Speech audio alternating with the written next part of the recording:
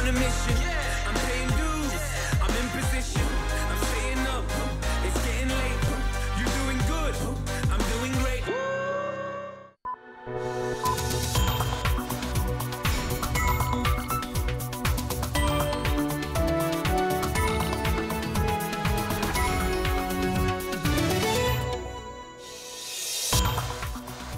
A pesar del frío, 13.000 personas han ido hoy a Villalar celebrar el Día de Castilla y León. Ambiente desapacible que mejoraba según avanzaba el día y con él también llegaba la fiesta. Buenas tardes y feliz Día de la Comunidad. Poco a poco la campa de Villalar se ha ido vaciando tras una jornada matinal muy política y llena de reivindicaciones de los activistas contra las macrogranjas a los jubilados en guerra por sus pensiones, pasando por los ciudadanos que luchan por la mejora sanitaria. Todos han tenido su hueco en Villalar.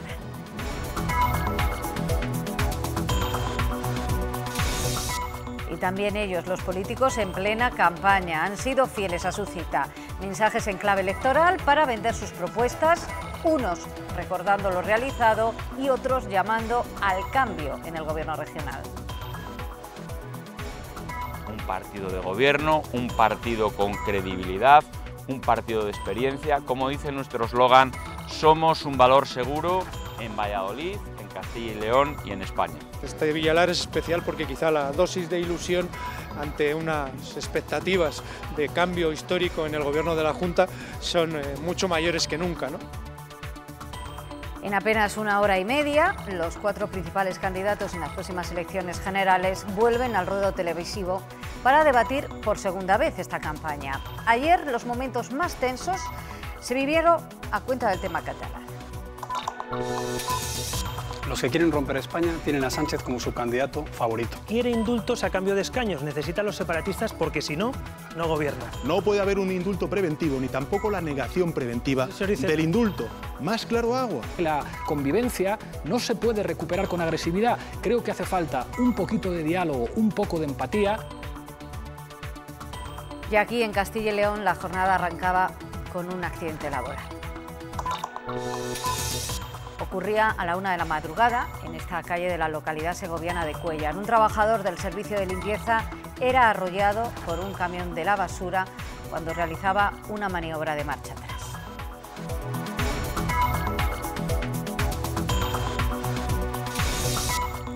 Y abríguense porque llega el frío y la nieve. Se activa el aviso por nevadas en todas las provincias de Castilla y León, menos Valladolid.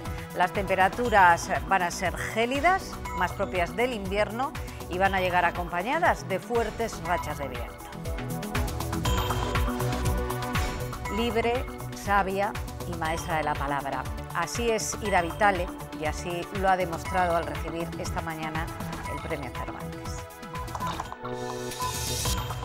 La poeta uruguaya ha ofrecido un discurso que ha sido en sí mismo un homenaje al arte de la palabra. No se ha olvidado de los clásicos ni, por supuesto, de Cervantes y su Quijote y su frenesí.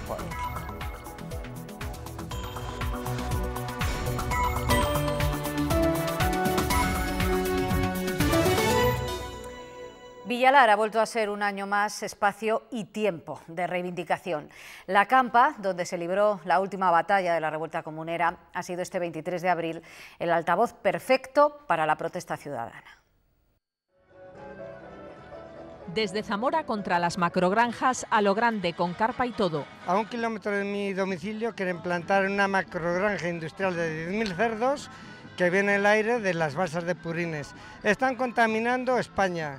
Con una pancarta los falsos autónomos de Embutidos Rodríguez de León. Reivindicamos los derechos de todos los trabajadores y de todos los falsos autónomos. Eh, sobre todo el caso personal nuestro que nos han echado por hacer, por hacer una huelga, un derecho fundamental y que no se debería de permitir. Y en columnas por provincias, los pensionistas. Pensiones de ciento y pico euros, doscientos y pico euros. ¿Tú te crees que con eso se puede vivir? Es penoso. Tienen que, que hacer algo. Villalar ha sido siempre terreno abonado para las protestas. Cabe pensar que este año además sería más fértil por la cercanía de las elecciones. Sin embargo, apenas ha habido reivindicaciones, han tenido muy poca fuerza. ¡Y gobierne quien gobierne!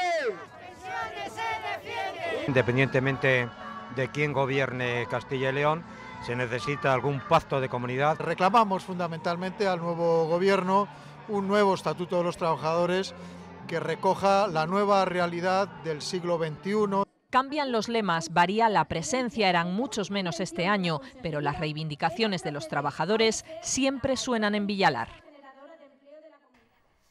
Esta ha sido una de las fiestas comuneras más políticas de los últimos años, al menos en las que se han escuchado más mensajes políticos.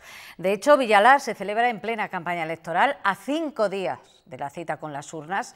Entre las ausencias, las más destacadas, la del presidente de la Junta, que no ha acudido por problema de salud, sí ha estado el candidato del PP a sucederle, Alfonso Fernández Mañueco.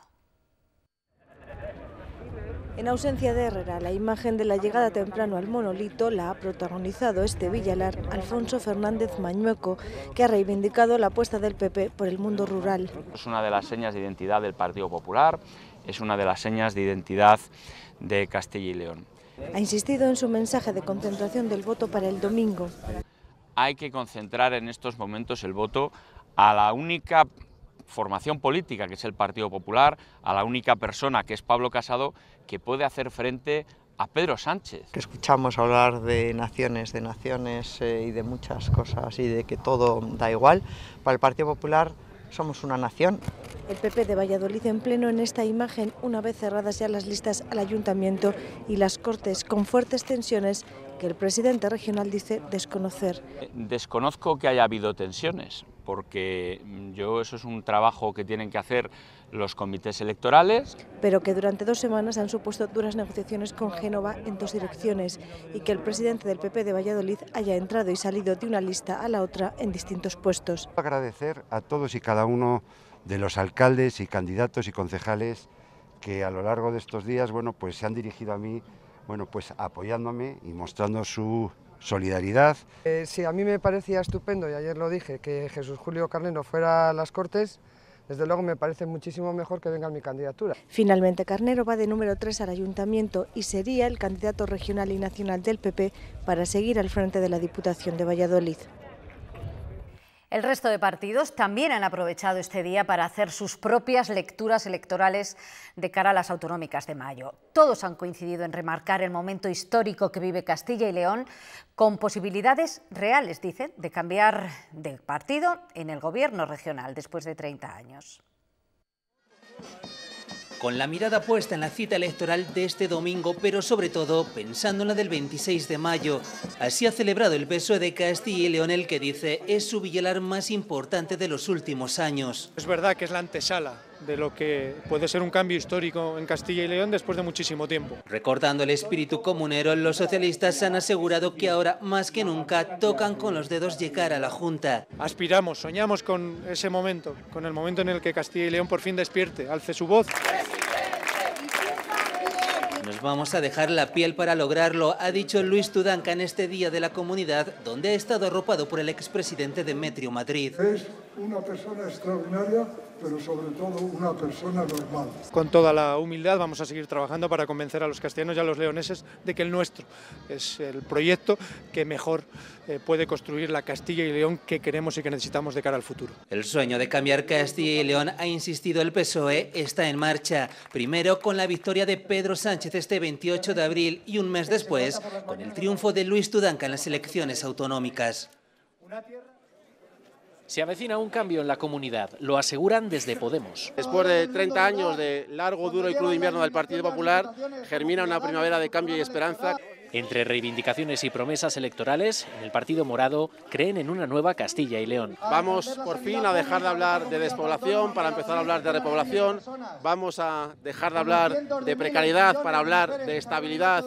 También en Ciudadanos apuestan por un fin de ciclo. Este va a ser el último 23 de abril en el que va a gobernar esta comunidad el Partido Popular después de 30 años. En el partido de Rivera tiran de referentes históricos para compararse con Padilla, Bravo y Maldonado. Los definen como héroes liberales. Y esta revolución liberal, la que va a llegar ahora a Castilla y León, va a hacer honor a esos héroes, cambiando esta comunidad, dándole libertad, dándole igualdad y no menos convencidos de la nueva era están en Izquierda Unida. Yo desde luego creo que se puede producir una gran transformación en nuestra tierra, que estamos muy cercanos a que haya un gran cambio. Pero para ello recuerdan que es necesaria su presencia en las Cortes. Nosotros creemos que hay que movilizar mucho el voto, tanto este domingo como el próximo mes de mayo. Son los mensajes de la jornada en un Villalar marcado por las elecciones.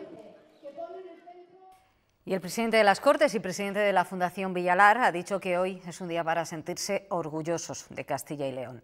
Ángel Ibáñez ha visitado la Casa de Cultura de la localidad y allí ha recordado que se celebra un levantamiento provocado por la pérdida de libertades y la falta de representación. En la carpa de la Fundación Villalar ha podido disfrutar de la representación de la más loca historia jamás contada de Atópico Teatro. Ibáñez ha aprovechado también para explicar alusiones simbólicas del cartel de este año. El cartel de Villalar es un amanecer, una mujer con una bandera abierta en signo de acogida en un campo de Castilla y además eh, entendiendo que tenemos que mirar hacia el futuro de Castilla y León, tenemos que ganar el futuro de Castilla y León entre todos. Así que por mi parte desear que el ambiente que hoy también se desarrolle en Villalar sea un ambiente festivo, un ambiente reivindicativo, un espacio de libertad. Y en la Casa de Cultura se va a quedar de forma permanente la exposición Castilla y León, Camino al Futuro, que hoy ha sido inaugurada. Reúne algunas de las escenas recreadas en el proyecto Plastistoria, que ha recorrido todas las provincias de la comunidad, además de fotografías y figuras de cera que enseñan al visitante cómo se construyó Castilla y León y cuáles son nuestras principales tradiciones.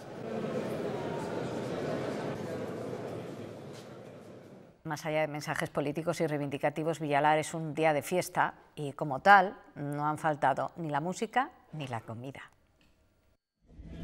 Las banderas han ondeado para todas las edades, novatos y veteranos. Los guisos, los asados y los clásicos eran cosa ya de experimentados. Lleva 20 pollos, 20 conejos y 20 kilos de arroz. Desde el Lugo hemos visto su cocina estrella. Aquí llevamos muchos años y bien, nosotros trabajamos la zona de León. Villalar también ha sido lugar para remover conciencias. Todos estos plásticos luego van al río, de río al mar, y ahora muchos plásticos acaban de nuevo en nuestra comida. Después de los peces, pues vuelven a la comida. Es muy perjudicial para la salud y para pensar en lo que nos da el campo. Por eso nunca hay que quejarse de la lluvia, a día de hoy insuficiente según las organizaciones agrarias. La gente se cree que nos dan la paz porque sí y para nosotros sería mucho más aceptable que tuviéramos unos precios justos y unos precios dignos por nuestros productos y que no dependiéramos de los mercados mundiales que no sabemos quién los maneja. El sonido sobre el escenario lo ponen los ocho grupos musicales de toda la comunidad. Récord de participación en esta edición. Y otra imagen de este día nos lleva hasta León, que han aprovechado este 23 de abril para reivindicar la figura del rey Alfonso IX, con la inauguración de una gran estatua de bronce. El monarca ha pasado a la historia por la convocatoria de las Cortes de 1188, en la que por primera vez se dio voz y voto al pueblo llano. Un episodio histórico que la UNESCO ha reconocido como origen del sistema parlamentario en Europa. La escultura en bronce pesa 800 kilos, es obra de Stanislao García y ha sido posible gracias a un centenar de donantes. Que el objetivo de colocar esta estatua y resaltar el hecho de las Cortes de León y contribuir a realzar el entorno y la imagen de la ciudad se ha cumplido, por lo que estamos francamente muy contentos. Decía hace unos días la alcaldesa de París, la señora Hidalgo, que la historia y el patrimonio son dos elementos que más unen a los ciudadanos. Y así ha sido en este caso. Casi nueve millones de personas siguieron anoche el primero de los dos debates electorales de esta campaña. En televisión española, Sánchez, Casado, Iglesias y Rivera se enzarzaron a cuenta de Cataluña y la corrupción en un encuentro a cuatro que dejó varias dudas sin resolver del gobierno. Pablo Casado y Albert Rivera intentaban acorralar a Pedro Sánchez por los hipotéticos indultos a los encausados en el juicio del proceso. A mí me da vergüenza ajena estos días cuando veía desde una cárcel a Oriol Junqueras diciendo sí, vamos a apoyar a Pedro Sánchez a cambio de indultos. El señor Sánchez es capaz de sentarse con el señor Torra y hacerse la foto de 21 condiciones de la vergüenza, poner un mediador y lo que haga falta para seguir en el poder. No puede haber un indulto preventivo ni tampoco la negación preventiva del indulto. Más claro agua. Un rifirrafe sobre Cataluña en el que no entraba Pablo Iglesias. Y yo creo que la convivencia no se puede recuperar con agresividad. Creo que hace falta un poquito de diálogo, un poco de empatía. Se lanzaban ataques por la corrupción. La sede del Partido Popular en la calle Genova de Madrid era como el gran bazar de la corrupción. Porque la señora Narbona está investigada por un desfalco de Aquamet y usted la ha hecho presidenta del partido. Ustedes ya sé que son de ir a acompañar a la cárcel a los que meten en la cárcel. Respeto por, la por ejemplo a Barrio Nuevo. Personas, no, señor Casado. que las cloacas del Estado se fueron por el desagüe de la moción de censura. Pero entonces, ¿por qué imputan a Pozas, Pedro? ¿Por qué imputan a Pozas? Ha sido, pero porque estamos hablando de unas responsabilidades que tuvo cuando era director de Interview. ¿Y cómo puede acabar alguien así eh, trabajando en la Moncloa? no me decir ahora que nosotros tenemos algo que ver con eso. Y sobre pactos, Iglesias no conseguía despejar sus dudas. Yo te he preguntado, Pedro, hasta dos veces si descartas o no un acuerdo con Ciudadanos y creo que el silencio es muy elocuente y el silencio es libre. También había pullas entre posibles socios. ¿Sabe dónde está el milagro económico del Partido Popular? En la cárcel. Porque usted no es mi adversario. Ni usted tampoco. Yo creo que Torre y la ultraderecha, en, España y la ultraderecha en este país es temible. Apenas ha habido menciones a Vox en este debate, más allá de algunas alusiones que ha hecho Sánchez.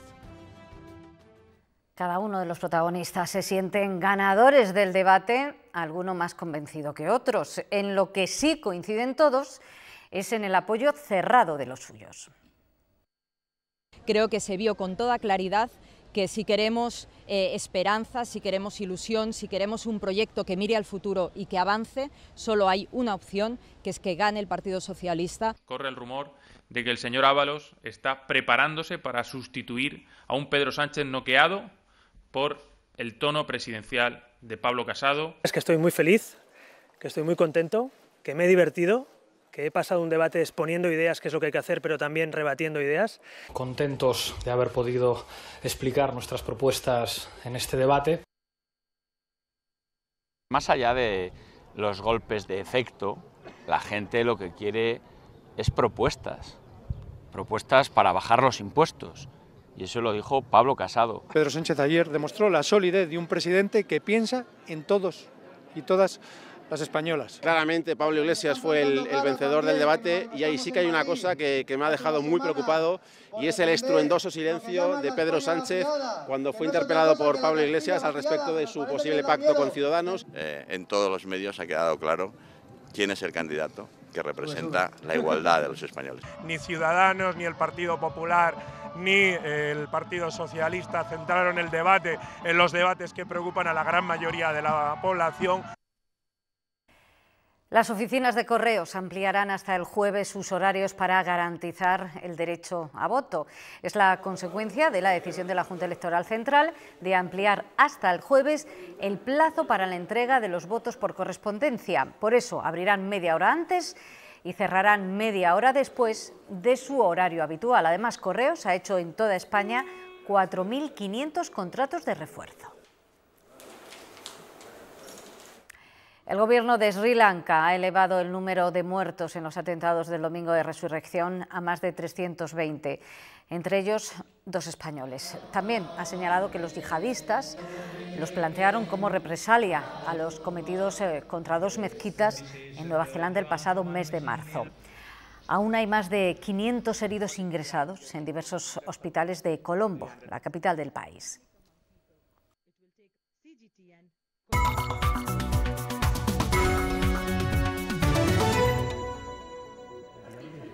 La Policía Nacional ha localizado en Madrid el cadáver momificado de una anciana que había fallecido en el año 2014. El hallazgo se ha producido tras un aviso de una sobrina que vivía en Israel y que decía que no sabía nada de ellas desde hacía tiempo. Parece ser que la muerte se debió a causas naturales. Hasta ocho coches se han visto implicados esta tarde en colisiones por alcance sin consecuencias más allá de las retenciones. En Tordesillas ha sido el punto más conflictivo en el tráfico de retorno de esta larga Semana Santa a la que se ha añadido el puente de Villalar. Desde el viernes 12 de abril han fallecido 27 personas en las carreteras españolas. La DGT destaca que es la segunda Semana Santa con menos víctimas mortales desde 1993. Ha habido 15 millones de desplazamientos de largo recorrido y también muchas complicaciones meteorológicas.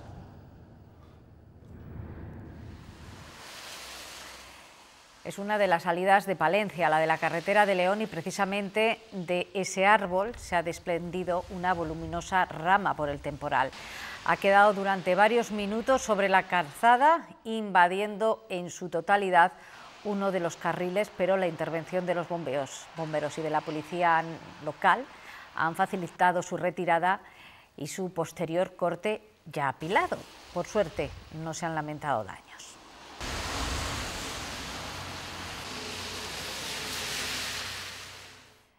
El municipio segoviano de Cuellar ha decretado tres días de luto oficial por el fallecimiento la pasada noche de un trabajador del servicio de limpieza. El hombre de 61 años fue arrollado por el camión de recogida de basuras cuando el vehículo estaba dando marcha atrás. El suceso ocurrió a la una de la madrugada en esta estrecha calle con poca visibilidad. Dos circunstancias que podrían estar en el origen del incidente.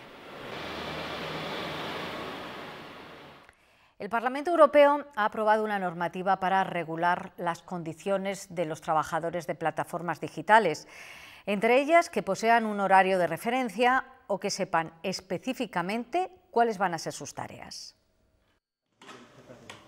La normativa va dirigida a aquellas empresas que tengan a trabajadores con contratos de corta duración o a tiempo parcial o a demanda, las conocidas como plataformas digitales Uber, Globo, Deliveroo, el empresario deberá informarles desde el primer día acerca de cuáles serán sus tareas concretas, la fecha de incorporación, la duración del contrato, el salario y el horario. Los trabajadores a demanda podrán rechazar tareas fuera de su horario u obtener una compensación si no se les notifica a tiempo la cancelación de un contrato. Además, no se les podrá impedir trabajar para otras empresas fuera de su horario predeterminado. Los Estados miembros tienen un plazo de tres años para adaptar esta normativa a sus legislaciones. Esta no afectará a los trabajadores autónomos, por lo que empresas como Deliveroo ya han reconocido que no compete a sus repartidores. Quienes viajen a Madrid a partir de mañana deberán llevar en su parabrisas el distintivo ambiental que clasifica a los coches según su potencial eh, contaminante. De lo contrario, pueden exponerse a multas de 100 euros. Hasta ahora, estas pegatinas eran obligatorias solo en el distrito centro, pero desde el miércoles lo van a ser en toda la ciudad. Verdes, amarillas, eco o cero emisiones, coche, furgoneta o motocicleta. No importa el vehículo o la pegatina, ya no puede quedarse en el cajón. Aunque no se resida en la capital, para circular por Madrid hay que llevar distintivo ambiental si no queremos exponernos a multas de 100 euros. 100 euros hoy día con los sueldos que tenemos y las pensiones que tenemos es mucho dinero. Es una de las medidas de la Ordenanza de Movilidad Sostenible de Carmena. Hasta ahora solo eran necesarias en Madrid Central. Yo es que vivo en el centro, entonces rápido hay que ponerlo porque si no te van a multar. Pero comienzan a ser obligatorias en toda la ciudad y siempre hay algún rezagado. La etiqueta verde de hace 15 días la, puse. Esta norma no afecta aún a los vehículos para los que todavía no hay etiqueta, los diésel anteriores a 2006 y los gasolina previos a 2001. Es diésel, pero hace dos años yo creo que es, entonces lleva C. Y quienes aún no la tengan, a por ella. junto con los talleres y los colegios de gestores administrativos, son los suministradores de pegatinas. Estaba todo el mundo a última hora pidiendo, solicitando el distintivo. Y si no se hacen con una, siempre pueden decantarse por otras opciones más limpias.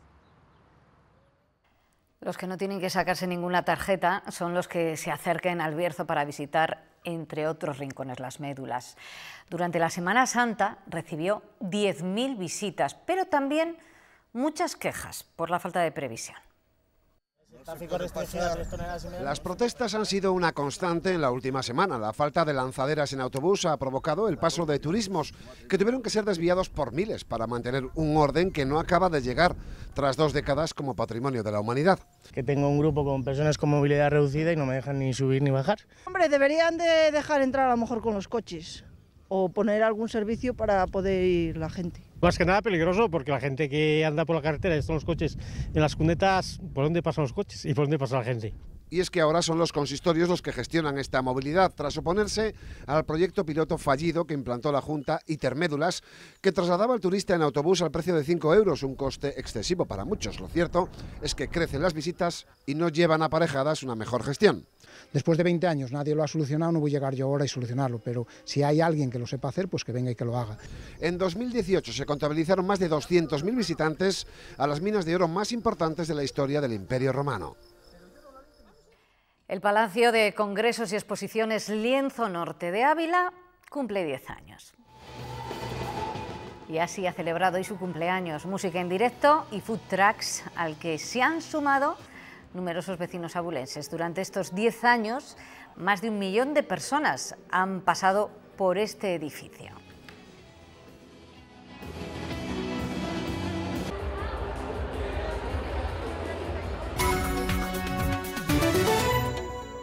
Además de Castilla y León, este 23 de abril es también el Día de Aragón, de San Jorge y del libro. Y con motivo de esta última efeméride, esta mañana en Alcalá de Henares se ha entregado el Premio Cervantes.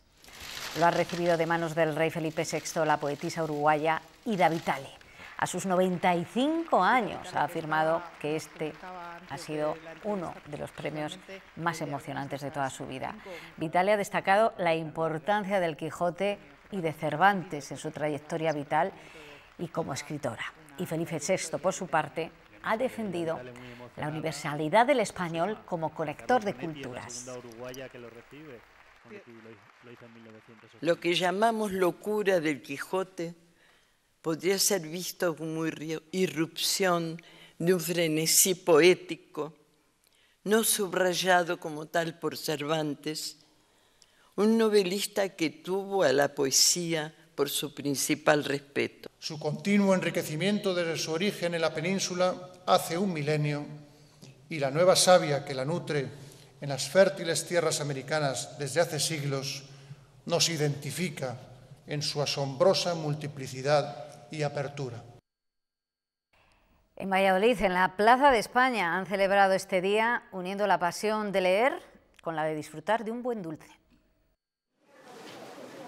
Géneros, formatos y autores para todos los gustos y públicos. Es una buena excusa para adquirir un ejemplar y sumergirse en sus páginas. He venido buscando un libro que me encargó una amiga que no le encontraba y he venido, le he buscado por todos los puestos y resulta que no, no le tienen. Pero he luego pasado y he visto una, a una escritora joven y me ha explicado lo que ella ha escrito y, me ha parecido no sé, bien y lo he comprado y me lo ha dedicado y todo, un libro de misterio. Uno de Donna León, una de, de, investigaciones de Venecia. Simplemente venía a ver qué había y me lo he llevado. Me gusta esa, la serie negra. Y para endulzar aún más la lectura, un postre en forma de libro. Un contraste entre el crujiente del hojaldre, la crema que está muy, muy suavecita y luego por encima la pasta de almendra que está, está muy rica, la verdad, es un sabor muy bueno. Aquí vamos a repartir 200 raciones. Está ya en las confiterías asociadas desde ayer hasta el domingo. Oscila, depende de los sitios, de entre 1,70 y 2,25 aproximadamente. Y no solo eso, hay más sorpresas. Me han regalado un árbol, una encina. Un árbol de lavanda muy bonito. Comprar un libro aquí cuesta un 10% menos, aunque el descuento se va a mantener unos días más en todas las librerías de que este año Y en Ávila este Día del Libro se ha celebrado recordando a uno de sus vecinos más ilustres, el historiador y presidente de la República en el exilio, Claudio Sánchez Albornoz. En la plaza del Mercado Grande y con presencia incluso de un bisnieto del político, se ha realizado una lectura pública de fragmentos de la obra Ávila en Claudio Sánchez Albornoz, a la que se han sumado numerosos vecinos de la localidad. Una terrible congoja ante ante el nicho que ocupaba. Más imágenes esta vez en Soria, con este Día del Libro que se celebra homenajeando a la obra de Juan Antonio Gaya Nuño, el santero de San Saturio. Precisamente en esta ermita comienza la denominada Saturiada. Se trata de una iniciativa literaria en la que se recorre la ciudad recitando 12 sonetos en otros tantos, eh, otros tantos emplazamientos distintos.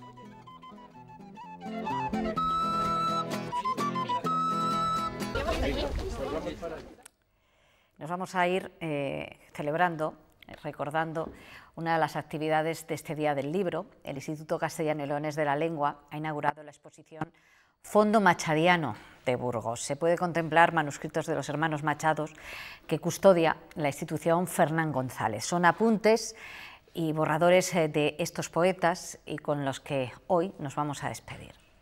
Adiós. Los hermanos Machado han dejado un legado cultural inmenso. La institución Fernán González custodia documentos de estos poetas y el Instituto Castellano y Leonés de la Lengua ha querido compartir un conjunto de cuadernos en la exposición Fondo Machadiano de Burgos. Es un tesoro fantástico, de un nivel cultural magnífico y lo que se lo que el visitante puede, puede ver es una muestra de ese fondo machadeno, una pequeña muestra. Apuntes de filosofía, de psicología o el crimen a Federico García Lorca son parte de los temas que muestran estos ocho maletines. Lo que don eh, Antonio eh, pudo haber escrito, que por circunstancias, porque no le acababa de convencer, pues eh, no lo escribió. O sea, sería una especie, y por eso lo veremos, que los papeles están llenos de, de, tachaduras, de borratajos, están rotos. Y... Caminante no hay camino, se hace camino al andar, fue una de las frases más célebres de este poeta. Ahora nosotros recorremos su camino para conocer de cerca todo aquello que él y su hermano nunca llegaron a publicar.